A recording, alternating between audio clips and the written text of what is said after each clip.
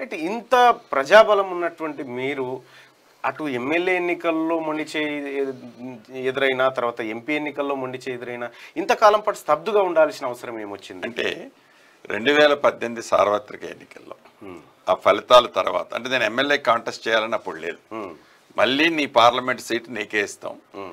నీ ఎమ్మటి ఎవరైతే ప్రయాణం చేస్తున్నారో వాళ్ళందరికీ కూడా ఎమ్మెల్యే టికెట్లు ఇస్తామని మభ్యపెట్టి మాటలు చెప్పి గారడి చేసి ఒక పార్టీకి రాష్ట్ర అధ్యక్షుడిగా ఉన్న నేను ఒక పార్టీలో పార్లమెంటు సభ్యుడిగా గెలిచిన నన్ను నాతో పాటు ఉన్న ఎమ్మెల్యేలని సుమారు వందలాది మంది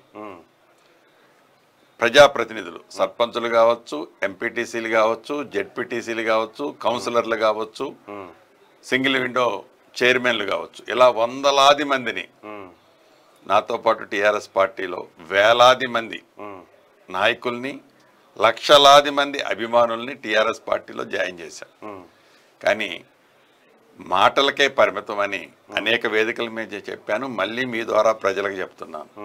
ఈ రాష్ట్ర ముఖ్యమంత్రిగా ఉన్న గౌరవ కల్వకుంట్ల చంద్రశేఖరరావు గారు మటుకు ఎప్పటికీ మాటలతోనే పరిమితం. ఒకవేళ ఆ రోజు కనుక మీ ఎంపీ సీట్ను మీకు రెన్యువల్ చేసి మీరు అనుకున్న కార్యకర్తలకు ఎమ్మెల్యే టికెట్లు ఇచ్చినంటే ఇవాళ పొంగులేటి శ్రీనన్నకు ఇంత అసహనం వచ్చేదా? డెఫినెట్గా నేను అనేది ఏంటంటే ఏదో ఒక స్టేజ్లో అంటే నేను డబ్బు సంపాదించడానికి అది క్లియర్ అది అందరికి తెలిసిన సత్యం. రాలేదు.